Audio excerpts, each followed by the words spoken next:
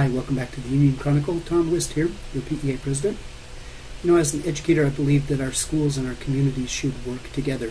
And to that end, as your president, I've been forming relationships with nonprofit like minded community groups that share the same goal of educating our kids. So today I'd like to take you on a visit to one of those. Let's go to the Global Village Museum of Arts and Cultures. All right, here we go.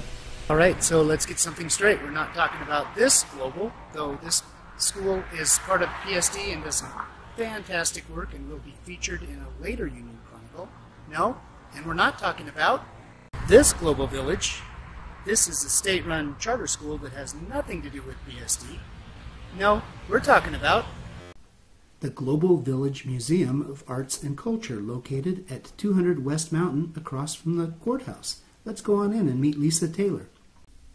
Hi, I'm here with Leisa Taylor, who is the Outreach Coordinator for the Global Village Museum of Arts and Cultures. Thank you for having me in, Leisa. Thank you for doing this, Tom. Um, what does the Global Village Museum offer that's unique in northern Colorado?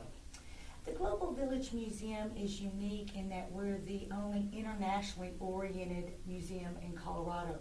But what's even more unique is that when we showcase international art and artifacts, we draw from northern Colorado talent. Everything that we display in this museum comes from the people in northern Colorado. So we're not bringing in people from Texas or Wyoming or Connecticut to showcase their talent. We're using the hotbed of talent that is already here.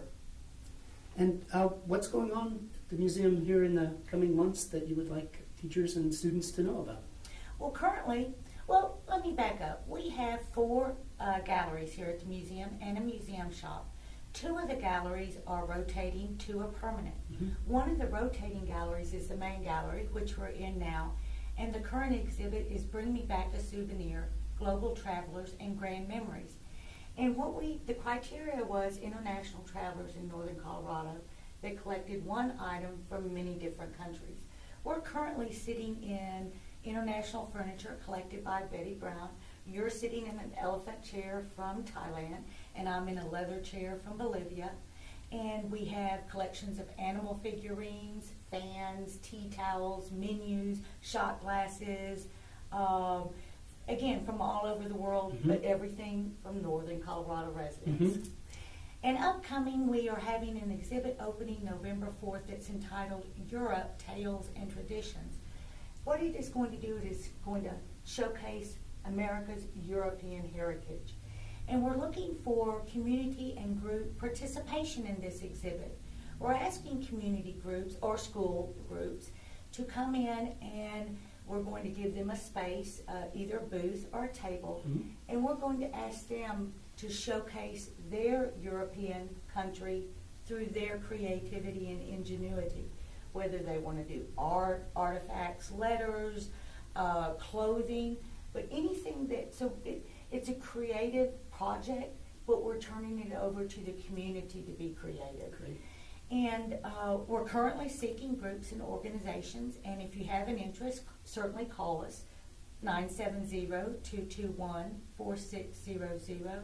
We're also holding an open house for interested groups. Next, coming up quickly, right? Yes, coming up next Wednesday, September 14th from 1 to 6 p.m. Mm-hmm. Come, come over, see our space, ask us questions. Uh, if you're one person or two people, let's say from Switzerland, we're really looking more to groups. Mm-hmm. So if you could get maybe together with other people from Switzerland, and because it's again, it's a group project. Mm-hmm.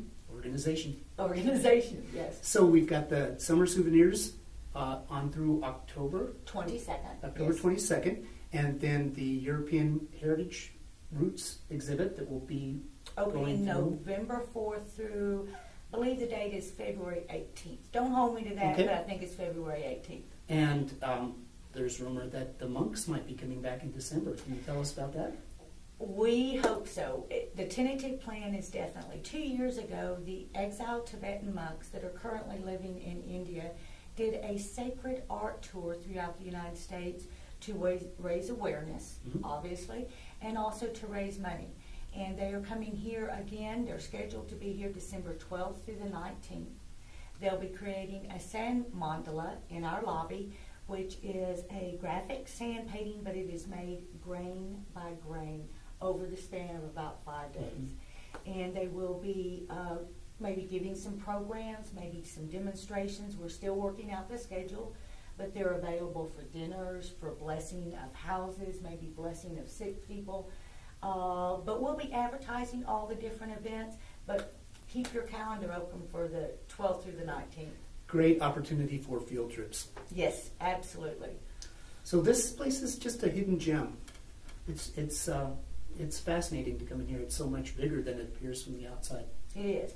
As I say, we have four galleries and a museum shop.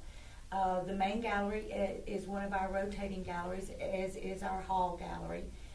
In addition to the exhibits, we also offer fabulous programs in conjunction Yes. with the exhibits. Uh, so currently we had, uh, with the Bring Me Back a Souvenir, we had a program where the collectors came in and told their backstories of the souvenirs. We have a program next week on baskets from around the world because there's a basket collection. And in any given exhibit, we usually have five or six programs during that six month period relating to uh, the exhibit. We also have youth activities. Uh, children can come in and do a scavenger hunt for gnomes around the museum. We have story time, free story time, the first Saturday of every month.